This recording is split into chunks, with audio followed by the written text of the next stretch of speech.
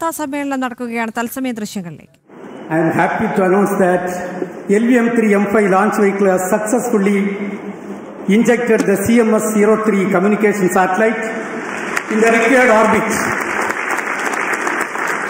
The satellite weighing 4,410 kg is precisely injected within the specification of the orbit.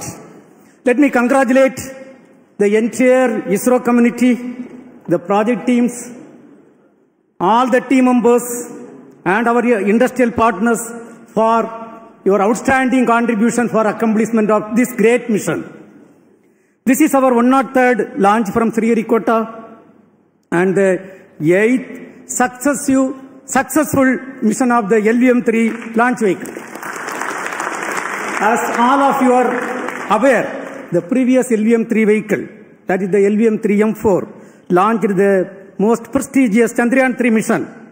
That mission brought glory to the India as the first country to land the spacecraft successfully near the south pole of the moon. Today's mission has brought yet another important glory to India. The CMS-03 is the heaviest satellite launched by the LVM-3 to the GTO orbit so far. For accomplishing this, the vehicle has to be improved, the performance has to be improved in multiple directions for enhancing the payload capability by 10%.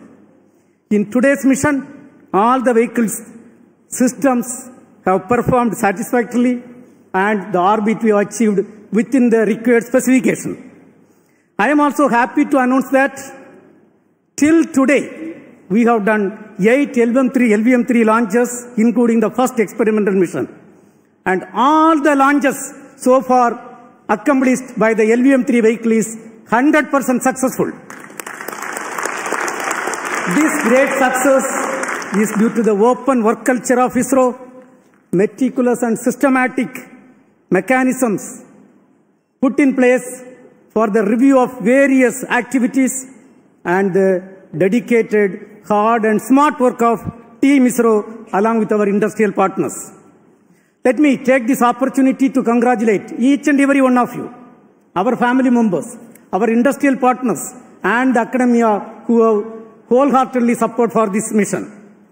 Coming to the satellite, the CMS-03 satellite is a multi-band communication satellite with coverage over a wide oceanic region, including the Indian landmass, and is designed for providing communication services for at least 15 years. The satellite incorporates a host of new technologies and yet another shining example of Atmanirbhar Bharat. Let me congratulate the entire satellite team spread across various ISRO centers for realizing this very, very important, improved, complex satellite for the communication capability of our country. I must tell that we had really a tough, challenging time during the launch campaign. You know, the weather was not that cooperative. But then, let me take this opportunity to compliment each and every one of you, even under this difficult weather condition. We could come out successfully and accomplish this mission in a grand manner and successful manner.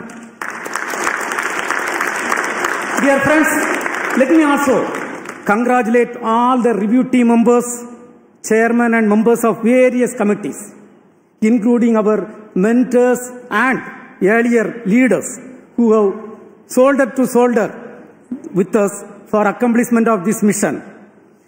We really congratulate and compliment each and every one of you and our family members on this occasion. And I also would like to announce a important experiment what we have carried out. The indigenously developed C-25 cryogenic stage.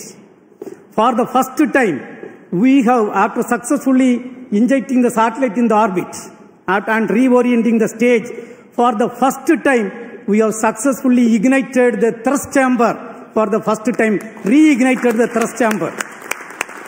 And this is going to be a great experiment which is going to feed data for restarting the cryogenic stage in future for enabling the mission flexibility for placing multiple satellites in various orbits using the Bahubali rocket LVM-3.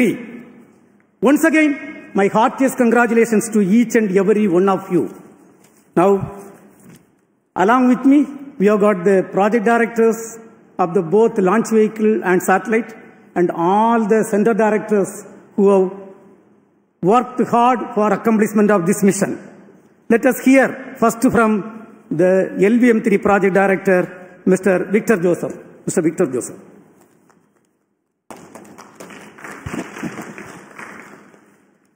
Good evening, ISRO.